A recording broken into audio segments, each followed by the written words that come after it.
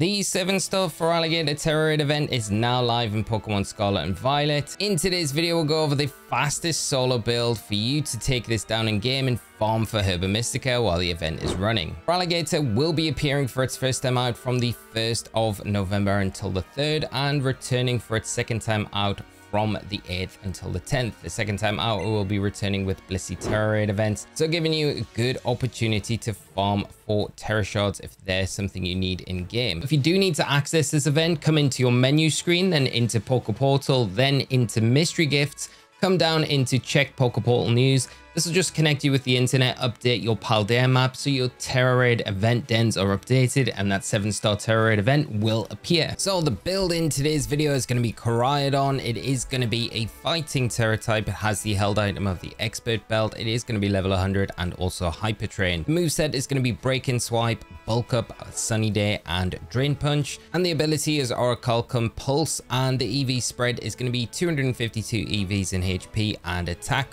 with an Adamant nature. build will be down in the description below if you want to take a look at it, but we'll jump into the raid now and show you how quickly and easily it can be to take down Feraligatr with Koraidon. So we come into the raid, the Orichalcum Pulse will activate, the sun will be on the field, that'll weaken the liquidation that's going to come out from the Feraligatr. We're going to see that turn zero of a Swords Dance, like we know, boosting its attack by two stages, but thankfully we do have some kind raid partners with Intimidate that's going to nullify that, but whatever the situation, we're going to lock in with Breaking Swipe turn 1. That's going to lower the attack stat on the Feraligatr every time you use it and it chips down at our terastallization counter as well. So we're going to utilize that from turns 1 to 4 until we can terastallize. Basically, you see our terastallization orb energy being stolen there by the Feraligatr, so it does mean we have to take an extra turn before we can terastallize. But like I say, from turn 1 to 4, just going for that breaking swipe, we're looking for that 80% of the HP remaining on the Feraligatr to hit before we can start setting ourselves up with our bulk ups to expedite the damage in this raid and make things very quickly for us. This is going to utilize things like Ice Punch as well.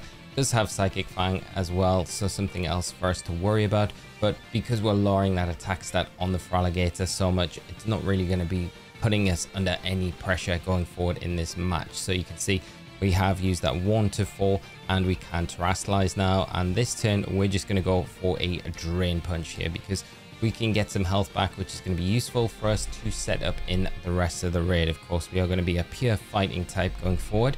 We are going to have that increased damage output from our fighting type attack moves got the healing properties of Drain Punch as well. And then after this Drain Punch, it will activate our stats and abilities being dropped on our side of the field. Like I said, that's what we're looking out for next uh, before the shield goes up. And this is the turn here. And now we can start bulking up going forward. The Feraligatr isn't going to nullify its stats on its side of the field for a little bit yet. So we, we've got a little bit of room where it's still going to be hitting for not very much damage, of course. It's just firing out those ice punches.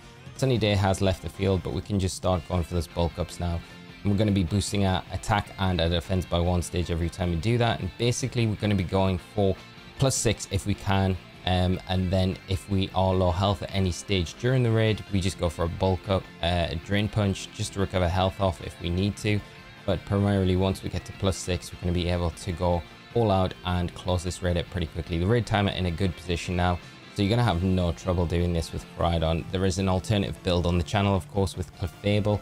You don't have access to Koraidon if you're maybe a Violet player.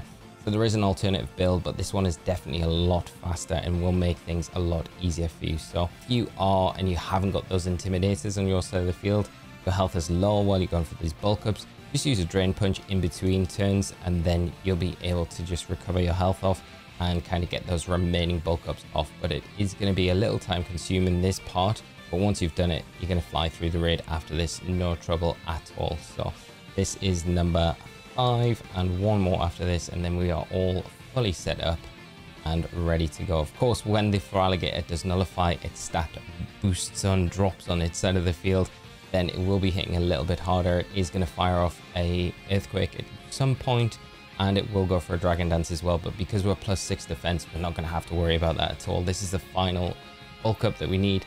And now we're going to be ready to go for those Drain Punches and you'll be able to see the damage output that we'll be able to do with this plus six Drain Punch that we're going to be able to lock in onto the Feraligatr. And now just about 50% of the raid timer here, we're going to be able to start making some big waves and cut through this pretty quickly.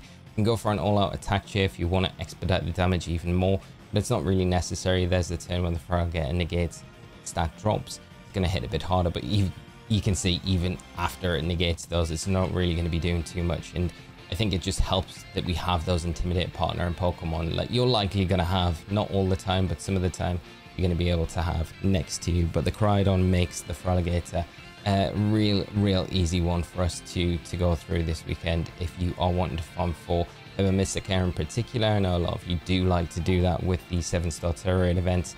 Then the Koraidon's probably the pick of the lot right now that you would have the best chance of doing that with over this weekend while it is running. And of course, it will be returning the following weekend with the Blissey Raids.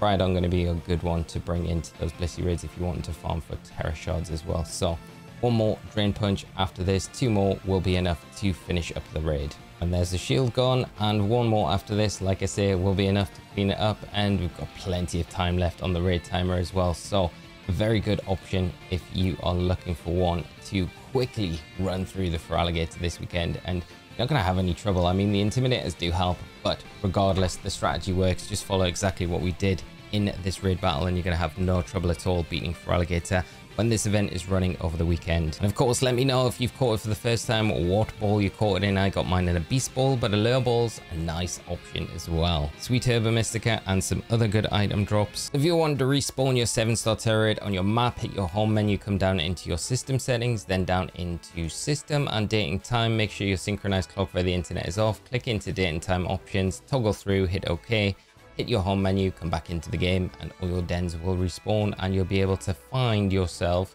the 7-star Tera Raid, wherever it is on your map.